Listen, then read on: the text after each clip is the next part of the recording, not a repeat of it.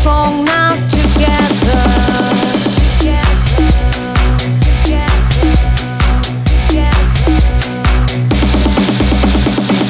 We're going strong now, hands in hand.